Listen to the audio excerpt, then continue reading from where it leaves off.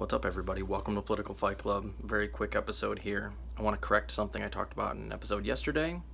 Uh, Kristen Gonzalez, who's the DSA backed candidate running for state senate in 59th District of New York, is not running against Joe Crowley, but Joe Crowley's cousin, female cousin.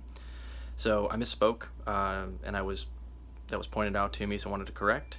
It's basically Joe Crowley with a wig. You get uh, Crowley in there, it doesn't really matter which one. They're an elitist family, and they're going to govern the same way. So it's just Joe Crowley's cousin.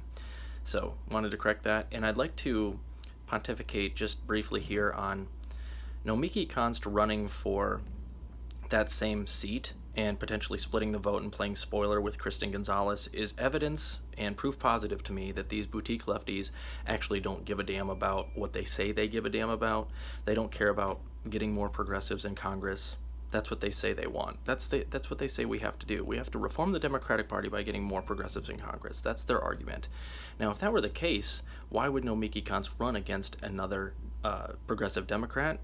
The answer is what we've always known. It's not about strategy. It's not about winning. It's not about reforming the Democratic Party. It's all about keeping the status quo the way it is and making money off of rebranding progressivism and basically people like David Doel who have endorsed Nomiki Konst over Kristen Gonzalez who is to the left of Nomiki Konst they're just one big social circle who wants to make money off of having a group of people who pretend to be progressives and who defend the Democratic Party tooth and nail.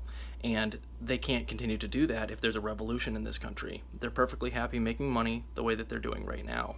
So, if they really cared about reforming the Democratic Party via getting as many progressives in Congress as possible, the principled thing to do would be to go after Nomiki Konst and call her out for this ridiculous vanity project that she's doing because she's going to get similar to what Cenk Uygur got when he ran against Christy Smith. She'll get like 4 or 5%. It'll be pathetic, but that 4 or 5% could end up coming back and splitting the vote enough so that Joe Crowley in a wig can end up winning in that district. So again, this just proves something that we already kind of knew on the true left is that these people don't have a strategy it's not about winning, it's not about getting things done, it's about maintaining the status quo while maintaining a facade that they're actually trying to get things done.